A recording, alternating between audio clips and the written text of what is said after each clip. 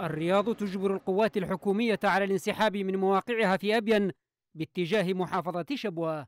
هي محصلة ثلاثة أسابيع من لجان الوساطة والتهدئة التي نشطت برعاية سعودية.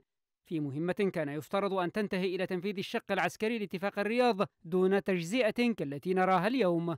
معظم القوات الحكومية التابع لمحور شبوة انسحب من مناطق شقرة والعرقوب وقرن الكلاسي والذريعة الظاهرة هو أن هذه الخطوة تمهد لتنفيذ اتفاق الرياض بعد أن مارس الطيران السعودي ضغطا معنويا على هذه القوات في رسائل فهم منها أن الرياض مستعدة لتوجيه ضربة جوية مؤلمة للجيش الوطني كتلك التي وجهها طيران الإمارات لوحدات من هذا الجيش على مشارف عدن في التاسع والعشرين من شهر أغسطس آب من العام المنصرم.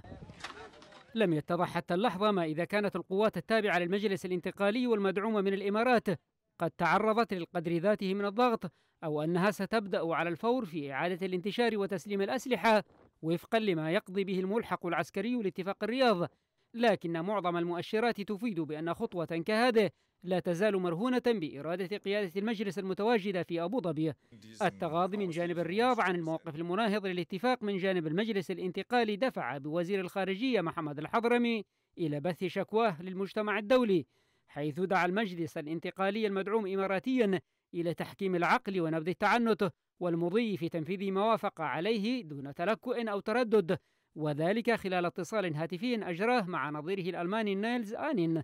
الوزير الحضرمي شدد خلال الاتصال على وجوب أن ينفذ المجلس الانتقالي الجنوبي التزاماته بشأن اتفاق الرياض الذي أصبح تنفيذه الآن من الضرورات أكثر من السابق.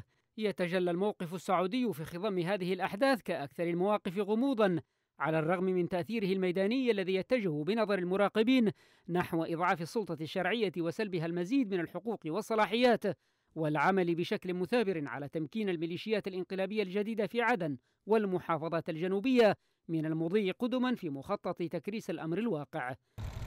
وبحسب هؤلاء المراقبين فإن الرياض تتفادى على ما يبدو صراعا مكلفا مع الإمارات بعد أن دفعت هذه الأخيرة بالوضع في بلحاف بمحافظة شبوة إلى حافة المواجهة مع الجنود السعوديين هناك في منافسة على النفوذ تغطي على الادعاءات المتكررة في الخطاب الإعلامي للبلدين بشأن دعمهما للشرعية ومواجهتهما ما تسميانه المد الإيراني في بلاد العرب.